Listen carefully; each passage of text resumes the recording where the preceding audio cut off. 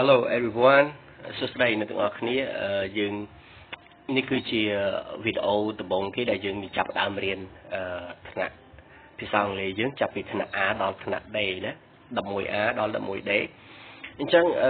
មេរៀនយើងកាលពីយើងនៅរៀននៅសាលាគឺមេរៀនអត់ស្មើគ្នាទេមានន័យថាអ្នកខ្លះថ្នាក់ខ្លះទៅ ដល់មេរៀនដល់ជំពូកទី6អ្នកខ្លះទៀតទៅជំពូកទី4ទី5អញ្ចឹងទៅអញ្ចឹងឈើកំណត់ការរៀនតាម Telegram នេះច្រើននឹងចាប់ផ្ដើមយកមេរៀនចុងគេអ្នកដែលរៀនបានវែងជាងគេតែម្ដងអញ្ចឹងយើងអ្នកដែលអត់ទាន់ក៏យើងចាប់ផ្ដើមពីធំនេះទៅដែរណា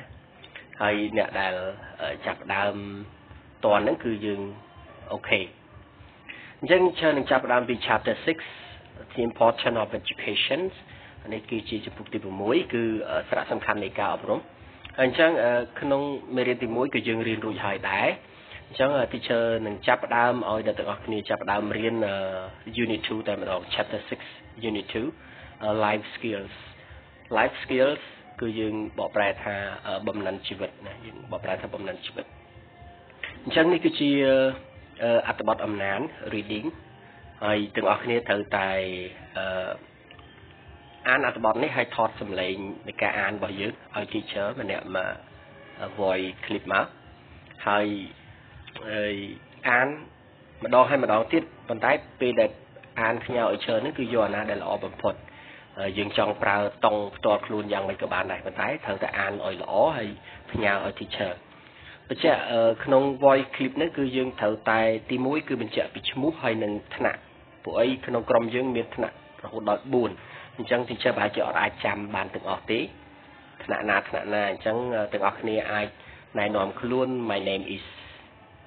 អញ្ចឹងមកហើយនឹង I am in grade 11 A B C D អញ្ចឹងមកណារួចហើយយើងចាប់ផ្ដើមអានហើយអាននេះ chờ អត់បខំទេយើងអានយកល្អគិតថា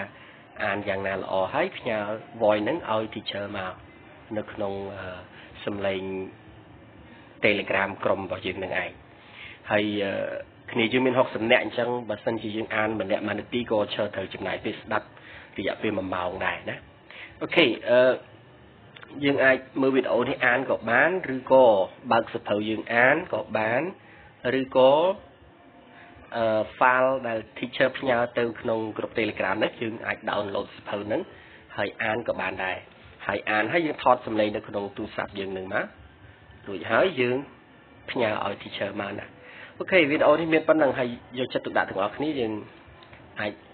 ធ្វើឲ្យបានទាំងអស់គ្នាអឺច្រើននឹងប្រមូល voice clip ហ្នឹងគឺ